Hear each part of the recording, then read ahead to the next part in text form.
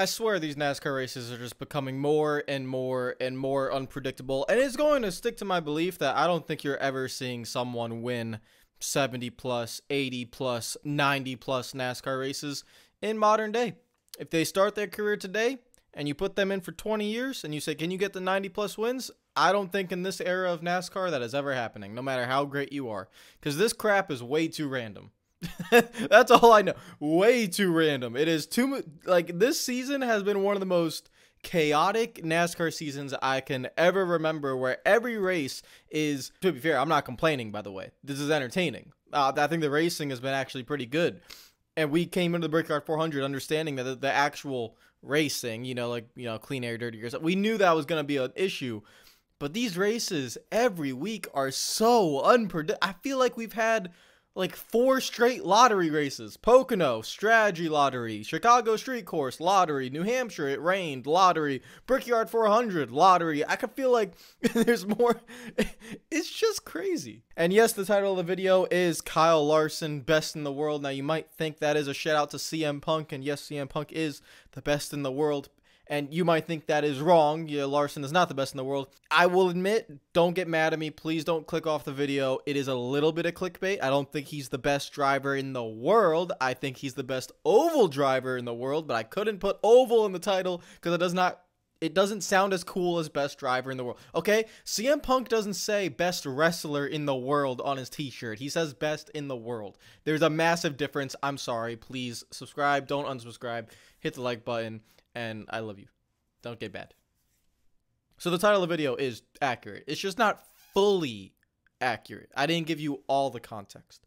Kyle Larson's the best oval driver in the world. I believe so. He's the best oval racer in the world. Dirt, asphalt, go karts in an oval race. I don't know. Put go karts in Daytona. I don't know if you want to try that. I think he would be the best. One one weakness or two weaknesses I see in him super speedway racing and uh, road course racing. But in terms of oval racing, just oval racing in all aspects, I know super speedway racing plays a part in that, but I don't think there's anyone better. We will get to that a little bit later on. This was the Brickyard 400. It was an absolutely chaotic race from the start, and we kind of knew that was what was going to happen. Um, with stages, with NASCAR crew chiefs, and just the way NASCAR has evolved in the last, I would say, like five years. Uh, even the races where you would expect it to be kind of boring because you can't pass, and it, you know we all expect the Brickyard 400. You know, back it's first time since for what four or five years since we've had the Brickyard 400 back. I can understand why people were not excited for it. I can understand if you didn't like this race, but even like like I said at the beginning, even the races that I don't expect to be great, this entire summer stretch, I was not expecting to really be that great. And I feel like each race has been wildly entertaining. Now, this race was not great. This race was entertaining. And I'm not going to complain about that because I like to be entertained, okay? Just, I'm sorry, it's just how it is. If you are a motorsport fan, you had F1 this morning. If you are an entertainment fan, the Brickyard 400 gave you entertainment, but it also gave you a lot of great strategy. And listen, I know a lot of people don't like stage racing. I get it. I understand it. Um, but the stage racing brings just a completely new level of strategy. It really does. I'm trying to imagine this version of NASCAR without stages. I don't think I would like it. I, I, I honestly think, guys, stage racing, and I've said this for a while, I've never had a complaint about stage racing. I, I'm okay with it. I've had complaints maybe at road courses like, should we bring out the caution? Is that morally correct? Last year we had road course racing without stage cautions, technically, but because the car is so poor at road courses, you saw what it's like if you can't pass and you don't have any stage breaks.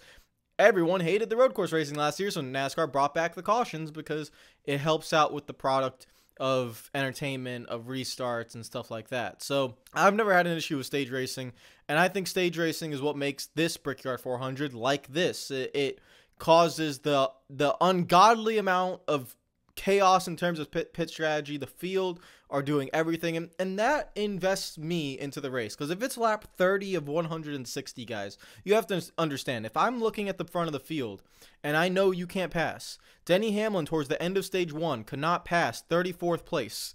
34th place was in front of him. Denny Hamlin could not pass him. Literally almost lost the stage to Kyle Larson because Denny Hamlin could not pass 34th place. If that is going to be the situation, okay, listen, it's not going to be very fun if there's no strategy. So you got to embrace the strategy, you got to enjoy the strategy and in my opinion, the Brickyard 400 should be on the schedule. Plain and simple. I don't care how bad this race is. I, I compute it to Monaco. Monaco in Formula One is god awful. It's been god awful for years. There are there's probably no way you can make that race entertaining. There really isn't. The track is too small and like it doesn't make sense. Like you can't race there, okay? You cannot make passes, you can't race there. But it's Monaco. It's the tradition, it's the luxury, it's the race everyone wants to win, so you know what? For one race out of the year, if I have to focus solely on qualifying and I got to make sure I qualify first, make sure I don't make any mistakes and, you know, just get the strategy right and I'll win the race, all right, great. Brickyard 400, if that is NASCAR's one race on the schedule where I know, God Almighty, I can't pass for crap. But strategy, you know? And that's what this race showed is that even if you qualify on pole, even if you run up front, strategy. This race is still absolutely unpredictable and in that case, entertaining. It's like its own version of Pocono, but on steroids. Pocono, you can at least pass a little bit, but that is always a strategy race. It has always been a fuel mileage or a strategy race, and I feel like in modern day NASCAR now, the tracks like Michigan, Pocono, uh, the Brickyard, tracks that you would assume do sometimes and a lot of times come under fuel mileage races in the past without stages it's the same thing. It's fuel mileage races, but it's just played differently. It's it's the strategy is different. You're trying to pit as soon as possible. You're running the race backwards. It's not the same as it was 15 years ago, but in my opinion, it is still very entertaining. So, guys, I don't have like that many complaints about this race. You have to understand what you are getting into coming into this race. We knew the next gen car was not going to be good at this racetrack. We knew that no one would be able to pass, but I'm one of them. I was okay with that. I, am not complaining about that. I, I get it, but this race is special, and I feel like you want to win the Brickyard 400. And even though you can barely pass, and it takes 10 cars in front of you saving fuel for the best in the world and Kyle Larson to pass them, listen, that's the situation. In the Xfinity Series on Saturday, you had Riley Herbst drive up to the rear bumper of uh, was it Cole Custer? And then Eric Almirola was behind. I'm pretty sure it was Cole Custer. I'm sorry that I'm forgetting. But you had exactly what I want NASCAR to be, which is on oval tracks, you're able to, you know, hit your marks, get your left front uh, or your left front fender in a little bit of clean air, try to get underneath or drive up onto your opponent, get to that bumper, try to loosen them up. Riley Herbst did that perfectly. The Xfinity car did that perfectly. And I keep saying this the Xfinity car is a great car, even with a terrible package where they were only going like 170 into the corners. Some weird, not super speedway, low horsepower package, you still had the ability to drive up and like to someone's bumper. That Xfinity car is fantastic in terms of that. This Cup car, the next gen car, cannot do that. It has its positives at intermediate tracks in terms of side by side racing. You can race side by side without getting loose, but the Xfinity car is superior.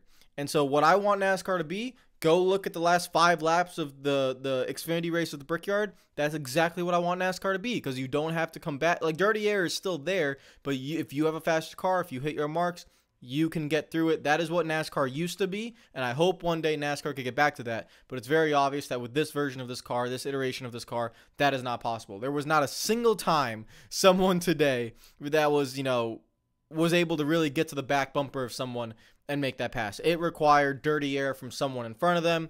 This entire race was about air. Air, air, air, air, air. Just trying to get the run. Even when Kyle Larson was trying to make his way in the last 20 laps of that race, trying to pass guys who were saving fuel, he was purposely just backing off so much on entry just to try and get, instead of two car lengths behind the guy, three, four car lengths behind the guy and get a massive run so he could combat the dirty air and hope the guy in front gets in dirty air, which is what was happening because everyone was saving fuel, and and that's how Larson was able to get runs down the straightaways and make passes. Um, it's not the type of racing I love to see in NASCAR, but that's that's what you were getting into with the Brickyards. I'm not I'm not going to complain about it. The first controversial moment in this race came from Chase Elliott. Chase Elliott, who was uh, running in second, I think, uh, and he comes down pit lane like like normal, like just normal green flag stop. Stage one, usually the strategy hasn't really played out yet until you either get a caution in stage one or the stage one ends and you figure out who stays out and who pits. Well, Chase Elliott goes up to the blend line on the racetrack. He goes over the line comes back down into the uh, like apron of turn two and like the normal way you take the the apron in Indianapolis, but NASCAR penalizes him, and that was the first kind of controversial moment where Chase Elliott's upset because apparently he talked or had a had a sheet from NASCAR, like an email or something, and they were allowed to do that. Brad Keselowski gets penalized for the same thing a little bit later in the race. Same complaint. He's like, wait, I thought we were allowed to do this. This is going to lead into a bigger thing about NASCAR race control, which, you know, it comes full circle. The first incident of this race involves NASCAR race control. The last incident of this race involves NASCAR race control. So we'll get to that in a little bit. I want to go through the race in particular, but that Chase Elliott penalty, and then the end of stage one comes, and you have people already like Tyler Reddick who decides to run 40 laps in stage one versus Hamlin and Larson who decide to run around, you know, cut it halfway. It's all about can you take more fuel, you know, less fuel in the pit stop and stuff like that? So the strategy opens up. As soon as stage one ends, strategy is open. We are off to go, and here you go. All right, everything goes crazy. So from that point on, I am invested in the race because everyone is on a different strategy. And then you have cautions and incidents within the race that change it up even more. So that's the very entertaining part about this race. In stage two, the cautions come. William Byron, hard crash. Hard crash down the back straightaway. Gladly, he's okay. But this caution, again, switching up the strategy. You're allowed to save fuel under yellow. It's a pretty long caution. So again, this is all changing the strategy. This allows Bubba Wallace to win the stage because again, strategy. Chase Elliott, who got a penalty, ended up finishing second in the stage. Again, strategy, it gets really chaotic. Uh, you head into the final stage, and now everyone's just trying to be like, okay, how can I pit early and and get you know without going a lap down and run the race backwards? And it's basically turning all these racetracks where you can't pass into semi road course race strategy. It's kind of weird when you think about it. Truex Jr. gets involved in a crash where he was trying to uh, go three wide with Ross Chastain, and Larson was just like, "Hey, I'm there. Hey, I'm there. Hey, I'm still there." And yeah, uh, Truex just, I don't really know what he was doing. Uh, yeah, he tried forcing it three wide middle. It didn't work. And then he, like, Larson's like literally by the curb. and he just drove into Larson's right rear and ended up wrecking himself. So I'm, I'm a little bit confused as to what Truex was doing. I, I don't really understand. Maybe he was just angry at Ross Chastain. And then on the following restart, another big and this is again, you're in the final stage. You can't pass, obviously, so everyone is just going for it. Guns ho blazing on lap one uh, of a restart. And uh, yeah, Joey Logano and Jimmie Johnson get involved in this wreck. Ryan Blaney, who almost won this race, was involved in this, but luckily he did not really get any damage. But his teammate and seven time Jimmie Johnson they are out of this race. Uh, Jimmie hits the wall, Logano hits the wall pretty hard. And to be honest, neither Logano or Jimmie had anything to do with that wreck. They just both got extremely unlucky. I think Jimmie was the one that got right rear hooked, and Logano was the one that got left rear hooked. So, yeah, that's just very unlucky. Yeah, and looking back at it, the people that were involved in the actual crash, I think it was Hocevar, Blaney, uh, and Austin. No, Austin Dillon, I don't think is involved in it, but everyone that actually made the initial contact got they they got through clean the two guys that got absolutely destroyed were in front of what happened. But, but because Blaney got hooked into Johnson, Johnson gets hooked into Logano. Very unfortunate. Feel really bad for them. The strategy is playing out while this is all going on. Kyle Larson, Chase Elliott, Tyler Reddick, three of the fastest cars all day. They have fuel. They have enough fuel to make it to the end. Denny Hamlin, Ryan Blaney, they're on a different strategy. They just said, all right, you know what? We're going to bank on a few more cautions to help us advance, and that's what they got. The Jimmie Johnson wreck, the Martin Truex Jr. crash in stage three, that helped them in, in order to make it on fuel for their targets. So now we have Reddick, we have Elliott, we have Larson trying to make their way through the field in a track where it's absolutely impossible to pass, and that is where the best in the world shows up. Larson restarted behind Elliott, he restarted behind Reddick, and he drives his way through the field. The top 10, top 12 cars are all trying to save fuel because they're two to three laps short. Larson's good on fuel. Reddick is good on fuel. They're off to go. And Larson, one by one by one by one, passes each and every one of them. And when Denny Hamlin tries to pick up the pace, they cannot do it. Larson continues to make ground, make hay, and he's able to basically try to force these guys to run out. And it looks like we're going to have this amazing finish. You know, five laps to go. Brad Keselowski is leading, who pitted on like lap 102, and he's basically running out of fuel or something, but he's somehow still running. Ryan Blaney apparently one or two laps short, and Larson is good on fuel. Three way battle for the lead. Keselowski makes it all the way to three to go before a caution comes out. Martin Truex Jr. left rear tire flat, just spins out by himself. By the way, my bad. It was the Kyle Busch wreck. I forgot about that one. Kyle Busch going underneath Denny Hamlin. That's actually what caused it. Yeah, that, that's the one that caused the overtime, uh, and and stopped the race from going in overtime. That that that was it. So yeah, Kyle Busch running top ten. Wrecks. That's the story of his year. I'm not even going to go into more about that. That's just that's just unfortunate. He, I mean, listen, I can. I think Kyle Busch has some bad luck, but he's also making some mistakes. like that, we've seen that for that the past few years from Kyle Busch. He's making some unnecessary mistakes. That just it kind of turned to finish I kind of wanted to see in a chaos. I don't think Keselowski would have made it because he ran out on the following restart before they even took the green. So I don't remember the exact amount of pace laps, but I think probably Keselowski would have ran out coming to the white flag. Probably somewhere around there. That's when Keselowski would have run out of fuel. So he wasn't going to make it based off the, you know, just seeing what happened afterwards. Um, but the fact that he was able to carry it that far is insane. Which does mean that Ryan Blaney was going to make it. Blaney was going to make it if that race finished without an overtime finish. So the Fords, like we've seen, they get a lot of uh, good fuel mileage. Their fuel mileage is fantastic. And this is the moment of the race because Keselowski runs out of fuel coming to the green. He pulls off in a pit lane that allows Larson, who's restarting third, to jump up into the front row and that basically that means he's winning this race because the outside lane was never going to work. Blaney gets pissed off because just it's very unlucky for Ryan Blaney. It's it, let's just face it. If Keselowski runs out of fuel before the choose cone, then Blaney can pick the bottom lane. But because he ran out of fuel coming to the green, there's no way Blaney can obviously switch. That's not allowed. So you just move someone up on the in the, the row very lucky for Larson, very unlucky for Keselowski and, and for Blaine. Well, not unlucky for Keselowski, they just ran him out of fuel, but unlucky for Ryan Blaney. And then this causes another crash. Overtime comes out, they wreck heading into turn one right away. Boom, kumbaya, crash. And so that's basically that. We kind of know that, you know, this race is basically over. Larson's going to win. It's just about what is going to happen after that. And so the race ends in a very odd way. Larson obviously coming to the to the white flag lap. He's clear. He's on his way. Uh, Ryan Blaney put up as big of a fight as he could, but you know, wasn't able to hold off. Larson Reddick is in the second. Ryan Preece um, ends up crashing down the like coming off turn two. He's he ends up crashing, and he hits the inside wall. Not hard, but he hits the inside wall. And this is what I mean by we're, we're bringing this back to race control. I apologize, this is going to be a long video. We're bringing this back to race control. So he spins out, he hits the inside wall. Because it's a single car wreck, NASCAR decides not to throw the yellow. And I tweeted a little bit earlier, this is something that's annoying me about race control, is that race control, instead of consistency with cautions, if Ryan Preece crashes exactly like that with 30 to go, it's a caution. But because they are in overtime, they don't want to throw the yellow. Okay, so now this is acceptable that we can change the rules of the cautions and when they should come out based off the situation of the race. I don't agree with that, but okay.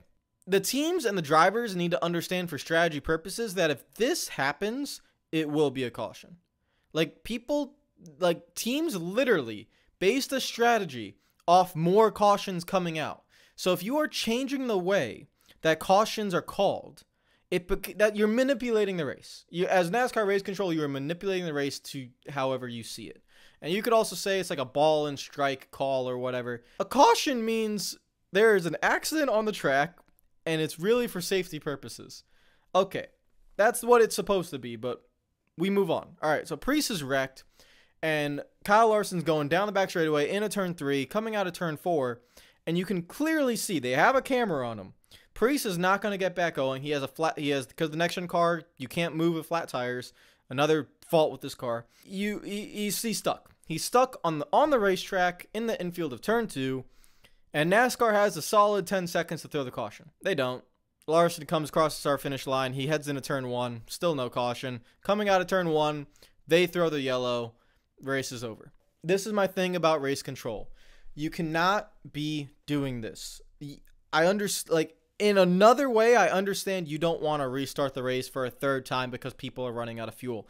That's not your job. Your job is to call the race accordingly, not based off what helps or what if you want to just get out of there or or people are running out of fuel. If someone wrecks and hits the inside wall and can't get going and you have 15 seconds to call the yellow, call it. Okay, we have to do another overtime. That's fine. That's fine. That if that is how the race goes, that's how it goes. You are changing the rules. And and so now, if I am a crew chief and I know, all right, if this happens in overtime, NASCAR might not call it. I have to put that into my strategy. If Ryan Preece hits the outside wall, if he spins out and hits the outside wall, it's a caution. But because he spun out and hit the inside wall, it's not a caution until he stops on the racetrack. Like I said, you guys might disagree with me on this, but I don't like the changing of what is a caution based off the situation of the race. That I don't like. Because sometimes NASCAR, I remember at Nashville, a car, I, I, don't remember the exact car who it was, but a car brushed the wall. I mean, brushed the wall. And they threw that yellow so fast, I didn't even know it was possible. The, the constant race manipulation of NASCAR and the cautions, where it directly affects strategy and is affecting outcomes of these races, is really pissing me off because there's absolutely no consistency on it. At any point of the race, I don't know what a yellow is. I really don't. Especially come towards the end of the race, I don't know what a yellow is. If there's a single car wreck and it's to the outside, it's it's a yellow. If it's to the infield, it's not a If there's two cars that go to the infield, is that a yellow? Is that not a yellow? I don't know. I don't I don't know what a caution is anymore. Frustrating. It's just really frustrating and from the beginning of the race with not making it clear to what the rules are for Keselowski and for Elliott and for everyone in the field basically, the rules were not clear. To now at the end of the race, the cautions again all year don't know what a caution is. It's too inconsistent. I'm just tired all season of just the inconsistency. I don't know what the hell is going on in race control. I it's just I don't I don't I don't like it. That's just my opinion. I, I, this video is going on way too long. I don't like it. All right, let's go to the race results because this has been going on way too long. Larson, Reddick, Blaney, Bell, Wallace, Gillen, Cindric, Suarez, Gragson, and Elliott round out the top 10 at the Brickyard 400. Larson is now only one crown jewel away from the Grand Slam of crown jewels. He needs to win the Daytona 500, which, to be honest, I don't have much faith in Larson winning the Daytona 500. I have not seen Larson really compete at a super speedway legitimately. I don't know if he's going to do that, but he is one away, and the 500 is so random. You know what? Maybe one day he can. He usually is running, you know, sometimes he is running up towards the front, towards the 500, but then he crashes, like, diabolically. In the end, this race was chaotic. Uh, and while I am complaining about race control, I'm not really complaining about the race. I'm just complaining about the way NASCAR is officiating things. That's just my opinion. But I'm not complaining about the race. I thought for a Brickyard 400, guys, this was as good as it gets. Like, you come in with low expectations, just like if I was watching Monaco. You come in with low expectations. You hope to be pleased. I was pleased. I was entertained. I was able to see one of the best drivers in the world in a car that you literally cannot pass in go from 20th up to third place. Like that was extremely, extremely, extremely impressive. Just for context, Chase Elliott, who restarted in front of him, he was like 17th by the end of that that same run. He literally didn't move, and he's a teammate in a Hendrick car. He was just as fast as Larson today, and he couldn't move. Larson was able to, to really get up there along with Tyler Reddick, who was following him through uh, while people were saving fuel. So, um, yeah, fantastic. He, he is the best in the world. Larson is the best in the world. Oval oval in the world. Uh, fantastic for him. Congratulations to him. I will see you guys not next week for a race review because next week there is no race, uh, which to be honest is kind of nice. I I feel bad for NASCAR teams and people who work in NASCAR because there literally are no off weeks for like nine months, which is crazy. This is the one off week they have. I kind of think they should have another one. like it used to be two or maybe even three. I it used to be two off weeks in a season, but now it's I think it's only one, and it it's kind of crazy. So next next weekend there is no NASCAR race. Enjoy. I will see you guys tomorrow for another video. Take care of yourselves. I'm sorry this video is way too long. Hopefully you guys hit the like button. Make sure you subscribe. Leave your comments down below what you think. Am I being too harsh on NASCAR race control? What do you think about the other incidents in the race? And everything around the Brickyard 400. Um, also with NBC, you know, leaving the race with two to go. That that happened. Now, obviously, there are special circumstances. You know, something in the political world happened today that you know NBC needs to cover it at their nightly news at 6. I understand it. If the race was going to end on time, it would have never been a problem. But um, yeah, what do you guys think about that? I have NBC and I have Peacock and I have USA, so I just don't care. I just switch the channel. But I know for people that, you know, don't have that or they're streaming it somewhere or it's just an inconvenience, I understand. So yeah, what do you think about that whole situation? Um, take care of yourselves. I'll see you guys tomorrow. Peace out.